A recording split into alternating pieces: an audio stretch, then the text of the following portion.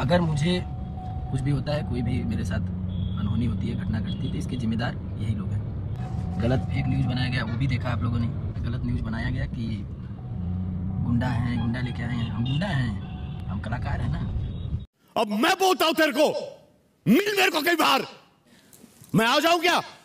अपनी पर दोस्तों, आपको बता दूँ कि आकांक्षा दुबे के मैटर को देख बॉलीवुड के बादशाह कहे जाने वाले सलमान खान बहुत ही गुस्सा हुए तो जी हाँ दोस्तों, आपको बता दूँ कि सलमान खान इस मैटर को देखते ही आग बबूला हो गए और जमकर बरसे समर सिंह पर। तो दोस्तों, आपको बता दूँ कि क्या कुछ कहा सलमान खान, हम इस वीडियो में आप लोगों को सब कुछ दिखाएँगे। तो उससे पहले आप इस वीडियो के नीचे कमेंट करके बताएँ कि समर सिंह दोषी है या नहीं, और साथ ही इस चैनल को भी सब्सक्राइब कर ले। तो दोस्तों, आपको बता दूँ की आकांक्षा दुबे का कल पोस्टमार्टम रिपोर्ट भी निकल के आया। तो जी हाँ उस रिपोर्ट में ये भी निकल के आया की भोजपुरी इंडस्ट्री के सुपरस्टार अभिनेत्री आकांक्षा दुबे के हाथ में चोट भी लगा हुआ है। तो दोस्तों, आपको बता दूँ कि आकांक्षा दुबे के साथ कुछ ना कुछ गलत हुआ है, तभी नहीं तो आकांक्षा दुबे अपने आप से ऐसा नहीं कर सकती। तो जी हाँ दोस्तों, इसमें एक और बड़ी खबर आपको बता दूँ कि समुद्र होटल में जिस रूम में आकांक्षा दुबे रहती थी 105 उसके ठीक सामने 107 नंबर रूम एक और था। और उस रूम को किसी को नहीं दिया जाता था, उसमें बताया जाता था कि इस रूम में होटल के एमडी कभी कभी रहते हैं। ये 105 नंबर कमरे में इसके सामने, अपने सहयोगी से कहूँगा 107 नंबर कमरा है। ये कमरा किसी को नहीं दिया जाता। ये प्राइवेट कमरा है। ये कमरा किसका है?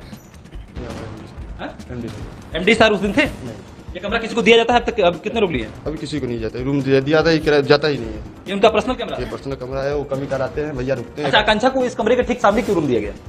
उनकी बड़ी रूम रूम हमारे के पास खाली नहीं थी सर जो बुकिंग थी उनके उसी हिसाब से उनका रूम दिया गया। अच्छा। तो जी हाँ दोस्तों इससे साफ़ झलकता है कि 107 नंबर रूम के सामने 105 नंबर रूम आकांक्षा दुबे को प्रोवाइड किया जाता है। तो जी हाँ इसमें कहीं न कहीं होटल वालों का भी हाथ है। तो दोस्तों समर सिंह के साथ साथ कई और लोगों का भी साजिश है। तो जी हाँ इसी को देख सलमान भाई का भी आया बहुत ही ज़बरदस्त रिएक्शन तो जी हाँ आप भी देखिए क्या कुछ कहा सलमान भाई ने।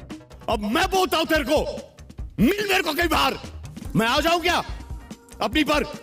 तो दोस्तों, अब देखना ये होगा कि समर सिंह अपने आप को बचा पाते हैं कि नहीं। तो जी हाँ इतना देखने के बाद भी आपको क्या लगता है कि समर सिंह दोषी है या नहीं? नीचे कमेंट बॉक्स में कमेंट करके हमें ज़रूर बताएँ। और साथ ही अगर आप इस चैनल को सब्सक्राइब नहीं किए हैं तो प्लीज़ इस चैनल को भी सब्सक्राइब करते जाएँ।